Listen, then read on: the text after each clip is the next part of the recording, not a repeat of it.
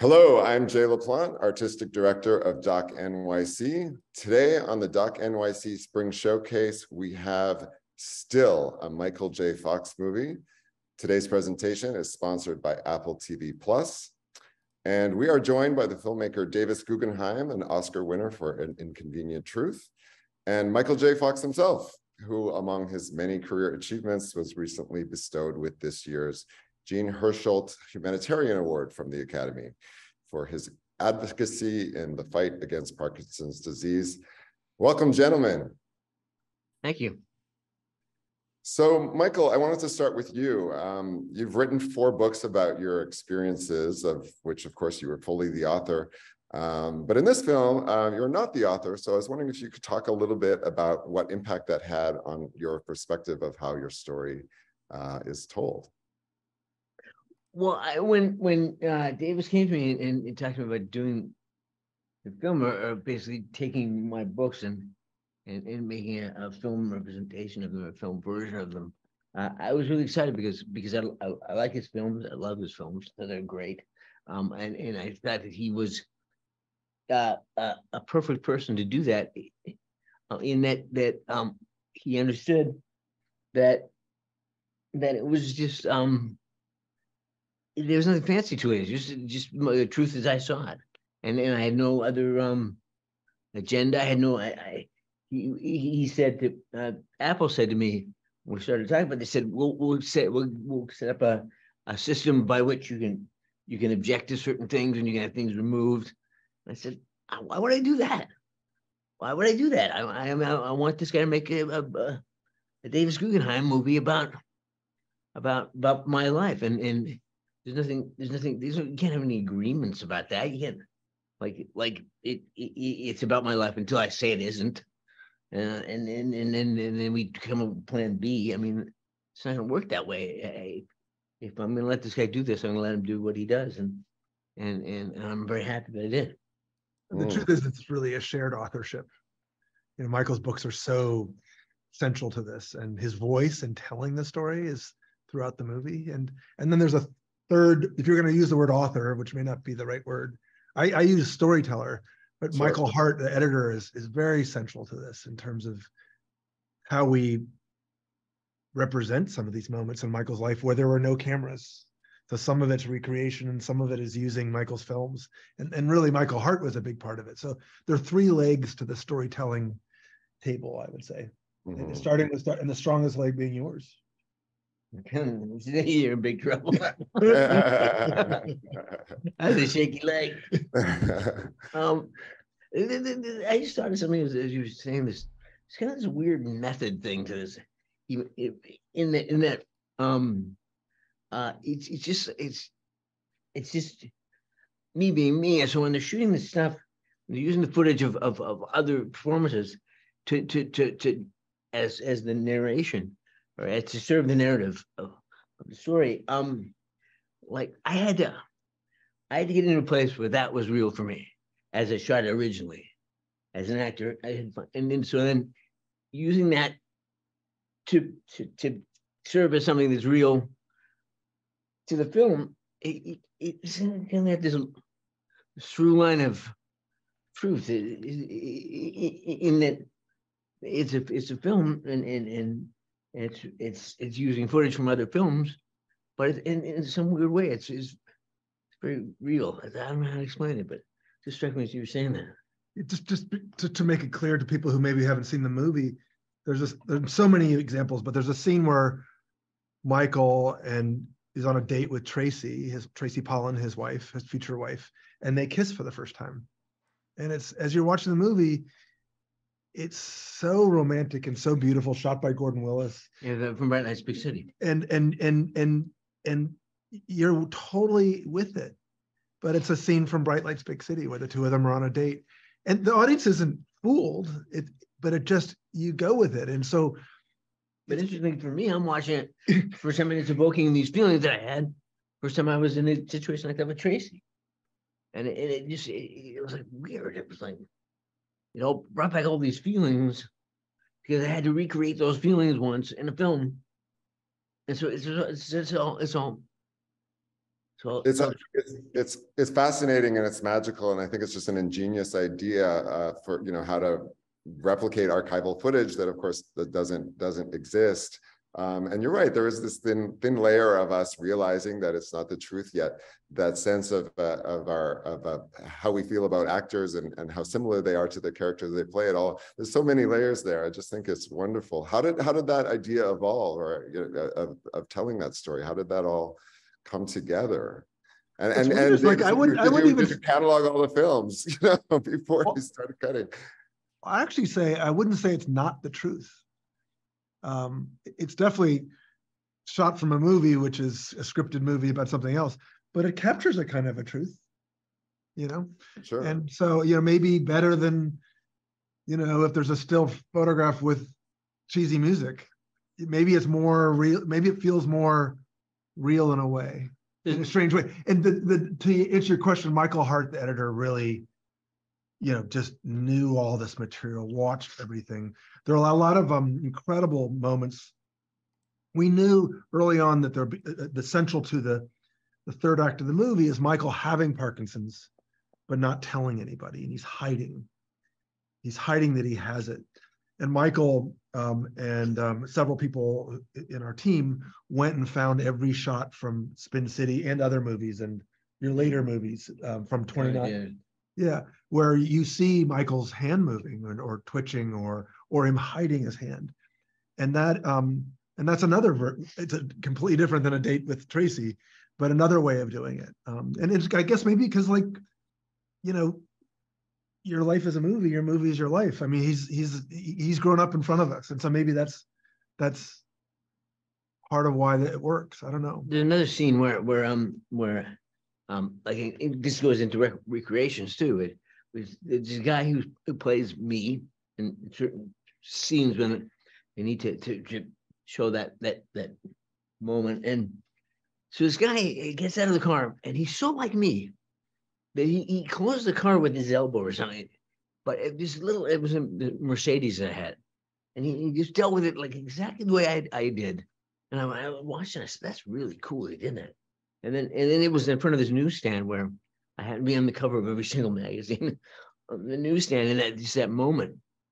And because of the way this guy closed the door, that only I would know that that's what he did. Like he, perfect.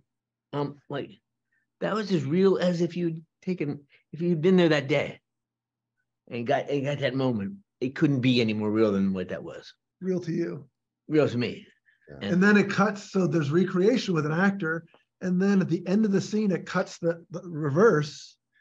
And I think it's from Secret of My Success, right? When you have the gray jacket on and the sunglasses. Yeah. Yeah.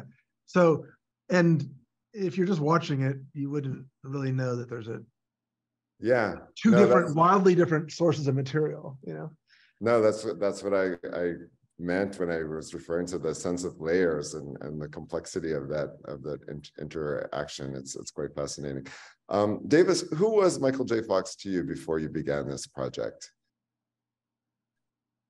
I mean, I'll, I'll say really candidly, I, I, I, I underestimated you. You know, I, I saw Back to the Future in college. We all went. We thought it was an amazing movie. I saw so many of your movies, and I was like, oh, he's a he's a funny guy. He's uh, clever, and uh, and uh, he's a he's a, he's a good actor. Uh, but I, I didn't pick up his books, you know, and, and I didn't, you know, I, I didn't think there was more there, to be honest with you and then and then I, I read this interview with him in the New York Times for the last book, and um, it's like, oh. And then I read uh, the scene from the book where it's a pretty heartbreaking scene where he's getting ready to go to do a Spike Lee movie and has this terrible fall, and he's by himself. It's all his fault because he didn't want any help. And he's he's broken it, shattered your shoulder. Yeah. He can't reach the phone, and it's it's a tragic and heartbreaking scene, which I thought was going to be the movie, was never in the movie. But the writing of it is so visceral and, and the storytelling is so good and yet the tone is so um um at times funny and very poignant without any pitying and i was like this is interesting so i, I have to say like I, I i had sort of this sort of yeah, he, great guy. But but I didn't realize what a wonderful storyteller he was, and I didn't realize what how really smart you are. I'm not going to say it in front of you. I just said it in front of you. Did I say it in front of you? I don't know, I was, I, I'm behind you all the way. but I mean, really smart. And you see it in the movie, like it's just a very sharp wit, very intelligent. Um, should I say more? Absolutely. You do make us laugh a lot. I, you know, uh, the, the, I think we underestimate people who are funny. I have to say, this is what I learned in this movie. You know, funny is, uh, is often an indication of something, someone's super, super bright. And we, and we, sometimes we, we think the opposite. The funny is silly or it's throwaway or whatever. No, comedy is incredibly hard. That's, that's why I'm not in the business. Why I make documentaries? Um, the, the film is very, you know, frank and open about uh, your day-to-day life, Michael, uh, you know, living with Parkinson's and, you know, we see you uh, walking outside your building and, you know, there's a gesture from a stranger that that um, knocks you off your balance. And there's also the scene that really struck me was the um, after you've had the fall and there's the we see the makeup person working on your eye um, what kind of discussions did you have about how to how to represent that and what what you wanted to include? Um, I didn't have any. Um, I just I just brought to set whatever bet with the assortment of scars and bruises I had on that particular day. It was really it was a really difficult time. Um, uh, going back even a couple couple years previous to to like the events that were in the book uh, on the last book. Um, I broke a lot of stuff. I broke both my humeruses. I broke hand. I broke my face. I broke my. Oh, geez, what else? I broke a lot of stuff. I had my shoulder recreated and rebuilt, and and um, and and uh, like I just got through it, and and and and it made me and, and there was stuff that was funny about it, and there was stuff that was not funny about it, but it just was like um I don't know when the when when when we started working on the film, I just realized that there was this great way for me to see it and and and understand it differently. I, I don't I don't know. It was it was a really tough time, but but but it, it, it was true that I went to humor every time. Because that's just where that's where I go to check in. What's funny about this? And the more challenging it is, the, the bigger the laugh's gonna be if I can ever get there. Mm. Uh, one of the things that I was also very moved in the film was the um, the sequence with your father when you told him about your dream and he drove you down to LA from Vancouver in the road trip and I can you know that, that had such an impact on me as as a viewer that it, that impact on you at that age has, has that stayed with you through this whole struggle of of the disease and and everything you've gone through can you talk about that that impact I was just thinking about that today. It's funny. You should mention it. And and um that that my dad um at that moment, like like I was thinking about what surprised me in the film and and what what kind of new information I got from watching the film that that I that I hadn't registered before. And it was how important that moment was. And and, and Dave did such a nice job of shooting it um with it with the the windows of the house and being on the opposite sides of the house and and having this back and forth and they coming together in the middle. Get him agreeing to to to take me to the States and and, and help me meet meet an agent when he thought it was clearly based on everything in his life, that was the stupidest idea he ever heard in his life. But but he he he he he did he supported me and and and so much and I didn't have much long after that. And really in the course of my my early story, it was a long time and series came and series went and I got poor and I got desperate and I really needed a job and then and then I had I had uh, work and became hugely successful beyond what anyone could ever imagine. And my father, I can I can only begin to imagine what he thought of it. I mean, there's just uh, from another planet. This level of success and this level of acceptance for something that he didn't understand, and um, so that was, that was a real gift of the film to me. Was was a new perspective on that, and a new and a new look at again, the, the, the absolute sincere truth of the moment. I mean, it's why this was such an interesting filmmaking because it, it, it, it always arrives a very pure, very true representation of the moment. It gets there in a weird way. You, when you bring this up, I remember your books were a lot more about your grandmother. Yeah. And your mother. And our first interviews, our, our first conversations were about your father Well, and, and why he's the last person. He was so pragmatic, so why why would he agree to take to let his son go to Hollywood and drive him down to drop out of high school? It makes no sense. it's much more fun and easy to talk with the people who supported you and understood you and were with you all the way. than it was about the guy who you really wanted to impress Interesting, yeah. and the guy you really wanted to get behind you. And who just, there's no way you could see him ever. I mean, he- he- like actors were hippies. He was an army guy and uh, that's thing he wanted to be was the father of a hippie.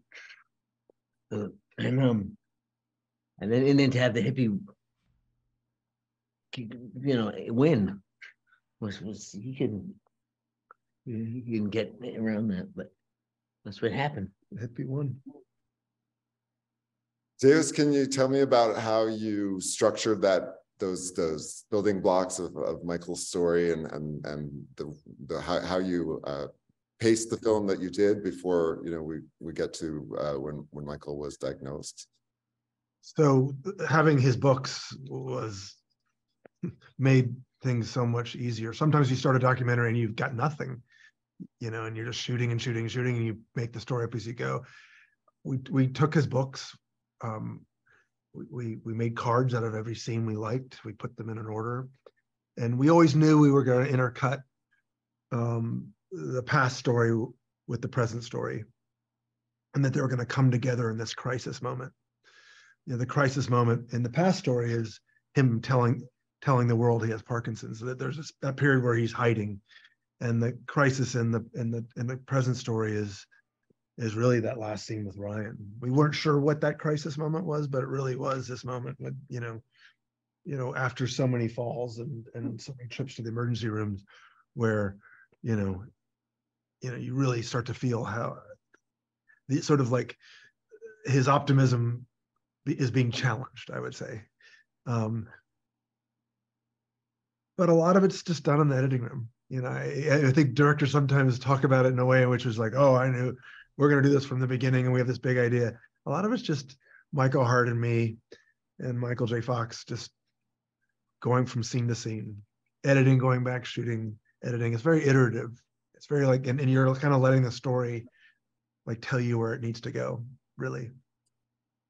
It's wonderful. Uh, what, you- the, the film world premiered at Sundance, uh, is that where you saw it for the first time, Michael? Is that, what was the feeling seeing it in the room with the public for the first time? I'd seen it a couple of times before in various versions, you know, short of a couple of big edits. And, and then, um, and then I saw, yeah, that was first time saw it in front of um, uh, an audience behind an audience, wherever. you- And, and, and I was so, so gratifying because they, they clearly loved it. And I mean, it's always good. It's, it's much better to be uh, promoting a movie that's great and the people love it than one that sucks and they don't. Um, so, so that was really great. And- And also the level to which they related to it and and and, and expressed later that they they they responded to it um, was just really gratifying. Because, because because on some level, as much as I say it's the truth, the truth, and do what you want with it, and you're the director, and uh, it is my story, and it's my and there are people in it that I love and care about, and and and I'm I'm I'm, I'm concerned about how they perceive it and how they and how they are perceived, and um and so satisfied in that count, you know, by by the way my family was portrayed or pre- presented, um, I, I I felt really good, and uh, they all they all came across great, and and the audience loved the film, and and and I was really I was really I was really happy for Davis, in in in, in Michael, but Da- Davis kicked it, he hit it out of the park. He he nailed it. Tell me about the title, choice of title. So Mi- Michael says a lot of great things in this movie, but you chose, uh, you know, his, his, uh, speaking about not being able to be still until he, you know, until he couldn't. How, how did the title come, come to you as, as the, the sticking, sticking title? I actually don't like describing why I pick titles for things because I, I it's important. It's not, it's more like I want people to project, I want people to ask the, the question themselves. But it's clearly that word just kept coming up a lot. I see. Michael, Michael says there's a beautiful moment at the end of the movie. Um, and there's a lot of, um, certainly a lot at the beginning of the movie is a lot about his, his need to move and to move fast. And so, so something just kept bringing me back to that word. But why we named it that, and uh, uh, I, I like to keep it a. It, it, I have my own reason, but I, I'm more curious what other people think. I got you, got you. Yeah, Yeah, you always got to keep a little mystery in art. yeah, Yeah. yeah. Great. Look forward to all of it. Thank you, guys. Uh, thank you to Apple TV Plus. And uh, the movie is still a Michael J. Fox movie. Thank you, Davis. Thank you, Michael. Thank you so much.